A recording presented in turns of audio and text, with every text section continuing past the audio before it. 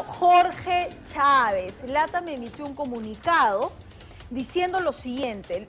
Eh, LATAM Airlines ah, informa que tras el anuncio presidencial que aprobó declarar la inamovilidad ciudadana que rige en Lima y Callao el martes 6 de abril desde las 2 de la mañana hasta la medianoche, estamos otorgando flexibilidades para los vuelos desde hacia Lima.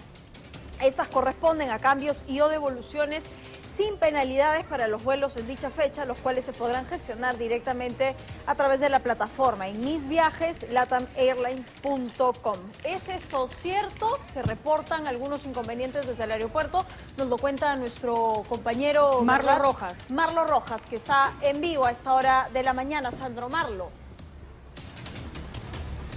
¿Qué tal? Buenos días. Así es, eh, podemos eh, reportar gran afluencia de público aquí, eh, exactamente en el ingreso de la puerta 6 en control de preembarque del Aeropuerto Internacional Jorge Chávez. Hay muchas familias que llegan, pues, para dirigirse a destinos internacionales y nacionales. Señora, ¿usted ha tenido algún inconveniente de repente para llegar hasta el aeropuerto? ¿De qué parte viene usted? Yo vengo, buenos días, vengo del cercado de Lima y sí, realmente no hay movilidad para venir. Mi vuelo sale a las 12 y desde ahora tengo que estar acá. Ha venido bastante temprano, ¿verdad? ¿A dónde se dirige usted? A la ciudad de Juliaca. Ah, Esta información, digamos, del toque de queda la ha agarrado de imprevisto. De mucho, de mucho improviso porque prácticamente a las 11, 12 de la- noche ha dado esa noticia el presidente y el- hay que tomar las precauciones del caso. ¿Cuánto ha pagado para llegar aquí?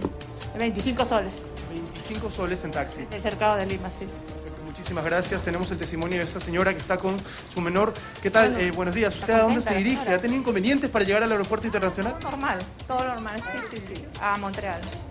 Muchísimas gracias. Bueno, vemos que eh, eh, la fila continúan. Es exactamente nos encontramos en el control de preembarque. Eh, en algunos casos hay algunos eh, ciudadanos que nos manifestaban que han tenido algunas dificultades, sobre todo para transportarse hasta este punto debido a la falta de eh, eh, taxis. En todo caso, señora, ¿qué tal? Buenos días. ¿Cómo, se ha, ¿Cómo ha llegado hasta este punto? ¿Ha tenido taxi? Es horrible, señor. Esto es horrible. ¿Cómo pueden dar esa disposición tan tarde de la noche? Uno a veces está durmiendo, uno ni se entera de las cosas que suceden. ¿Cómo ha hecho para llegar al aeropuerto? Ah, es horrible. No me pregunte, porque tomar un taxi te deja por algún lado, después... Claro, además. Carísimo, señor, ¿A carísimo. Está dónde se dirige usted? A. Piura, señor. Perfecto, que tenga un buen viaje. Está bastante fastidiada la señora, Sí. ¿verdad? Y nosotros podemos ver de que hay eh, gran afluencia de público. Hay que mencionar además que el concesionario temprano, ¿ah? eh, Lima Airport Partners ha emitido un comunicado, también compañeras, Así es.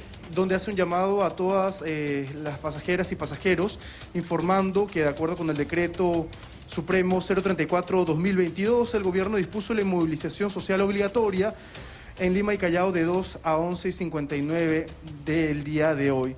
Por lo cual, el Aeropuerto Internacional Jorge Chávez mantiene su operación, sin embargo, se recomienda comunicarse con las aerolíneas para confirmar los vuelos. Además, el concesionario sugiere a las personas que tienen un vuelo programado portar consigo su boarding pass, el pase de abordar y el documento de identidad. Esto podría representar un salvoconducto para las personas que Exacto. se tienen que dirigir hasta el Aeropuerto Internacional Jorge Chávez. Acá hay dos eh, señoras, vamos a acercarnos.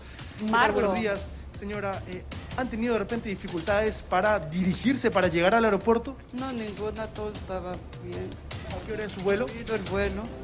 Fluido el- 12, a las 12 del día. Temprano. temprano. Taxi viendo en la web y que sí nos pudo traer ¿Desde qué punto de No, Lima? ¿Se dirigen ustedes? a Cusco. A la ciudad. ¿Desde qué parte han llegado de- al aeropuerto? Venimos de Pueblo Libre, Están relativamente cerca. 50 soles. Bastante elevado. Bueno, por esta situación y el muy atento el chofer y el taxi, muy buen servicio. Perfecto, Muchísimas gracias, que tengan un buen viaje. Vamos a continuar conversando con otras personas. Hacemos el llamado sobre todo a las personas, a los pasajeros que tienen- tengan un vuelo programado para el día de hoy, Exacto. a que acudan con el boarding pass, con el DNI y que tomen las precau- precauciones, compañeras, porque los taxis o el costo del servicio de taxi está bastante elevado. Nosotros previamente hemos llegado por la avenida Fose y hemos visto que el tránsito está bastante agilizado. Bien, Marlo, te agradecemos mucho por la información. Ya lo sabe, el aeropuerto.